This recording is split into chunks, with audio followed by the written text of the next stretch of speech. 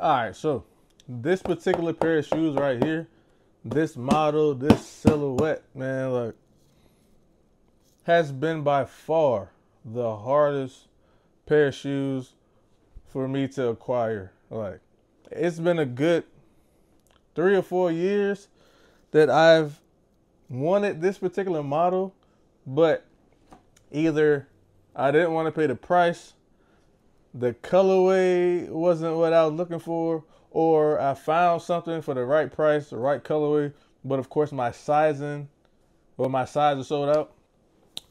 Or I'm just not hip to the releases because I feel like this particular shoe just flies under the radar all the time. And luckily, right place, right time, I was able to catch like a restock, I guess, or like a late, a delayed release. Cause SNS um, dropped these after midnight or wee hours in the morning. Shout out to my job, I was up. You know what I'm saying?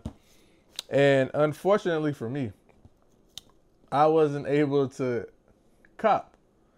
Like my size 12 sold out instantly. But of course, after a good 10 or 15 minute Google search, these actually released back in June, and one particular boutique or store actually had my size in them. I had to do my research first because I've never heard of the store, and it was like a boutique in uh, Berlin, I want to say. So yeah, like, I had to do a lot to get these, but clearly it was meant to be. So as you can see, you get a different type of Reebok box from what I'm used to. I'm used to you know the blue, the classic blue Reebok joint. So you get a white and cream or tan off-white joint. You see the glossy Reebok logo on the top. Nothing crazy. This uh, particular model in question is the Reebok Premier Road Ultra. And this colorway is in the soft pink. I think it was like three different colorways in this particular pack, but this one, this is the one. So once once I show y'all, y'all can see where I'm coming from. This is the one. I I needed this one. All over Reebok uh, print paper. Don't care about that stuff. Yeah, yeah, yeah. Definitely uh, well worth the wait. Yeah, Reebok Premier Road Ultra. And that soft pink. Uh, I don't know what it is about this particular shoe. I feel like it's just that trendy runner type joint because you can swap this out for a Vomero. You can swap them out for the the Saucony I uh, reviewed the last video. You can swap it out for the um, the New Balance 2002 or the 1906. It's just that sleek, modern throwback runner type thing, you know. Something that you can actually wear with a decent fit and be all right. Or if you just want to wear like some running shorts, running pants, and you can still get a, a fit off of these. So the colorway um, is um, different. It says soft pink, but as you can see, the hoodie is like a pink. This is more of a, what would you say, like a mauve or something to me personally. You also get your, uh, you get some tan in there. And I want to say like a slate blue. And you also get some gray. Yeah, this uh, is toned down. It's like um, definitely like a fall type thing. If you care about colors, like seasonal colors. I'm gonna wear these whenever I want. I want to say these laces are like a navy blue, maybe black. I can't really tell. I'm not gonna lie to you.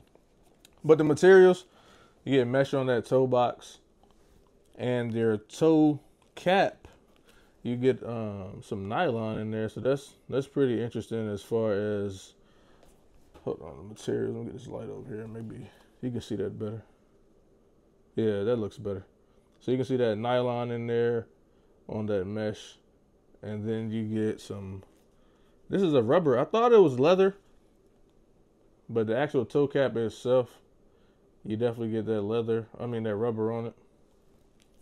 Leather on the upper and the uh, exaggerated Reebok logo. I think that's my favorite design element because it's not often that you would get like a logo closer on the toe box. It's usually like right here in the middle, but you get it like a slope going down from the um, eyelets going into the toe box, which is dope to me personally. I mean, I've liked shoes um, a good majority of my life, so different aspects and design and colorways and materials get me excited more than like the average sneaker buyer. If they think it looks nice, that's that's enough for them. I like you know a little elevated uh, aspects in the shoes personally, but enough of that. You get some more nylon back here on your heel, and that like dark mauve maroon color. More mesh, nothing too crazy. Keep it lightweight, which is what I like. They're just like a clean runner, man. Uh, you get DMX ride technology on the um, the outsole with like the insole, whatever. So I'm pretty sure it's gonna be very comfortable. Reebok is usually good um, in that department, especially with the runners. Outsole you get more of that mauve and blue. Traction is definitely crazy, so you can definitely uh, you can hit this pavement in these with no problem. Nothing crazy on the insole. You just get the Premier Reebok logo and then like a like a hypnotic type design. Shaqnosis vibes. But yeah, I mean that's pretty much it for this one. Um the price point now. Let's talk about the price point. I wanna say these were 180. 180 USD. 180 American dollars for this particular shoe. Now, every other Reebok shoe that I've acquired, I have paid under retail for the exception uh two of them.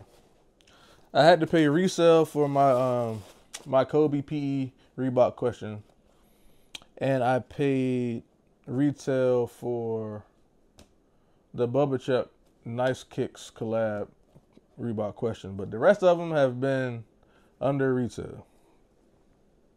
So this is um yeah, this is 180 was is top 2. And 180 retail for a Reebok is interesting to say the least, but you know, it's one of the shoes I wanted. Only one place had them, so I mean, it was either pass up on them for the fourth or fifth year in a row or finally add a dope colorway to my collection in the shoe that I've been searching for for a while. So I just went ahead and got it. I know I'm not going to regret these. But yeah, let me throw these on foot real quick, give you my sizing recommendations, and see how they actually feel. So if you're in the market for these, definitely go true to size. You get toe room, which is a plus. So it's like it's a perfect fit, but it's not uncomfortable, you know. You definitely like it's a running shoe, so you want some toe room just in case you're doing, you know, a lot of movements, any type of exercise, whatever you want that extra space. So yeah, true to size, definitely the way to go on these for me personally. They feel good for sure. They look good on foot in my opinion.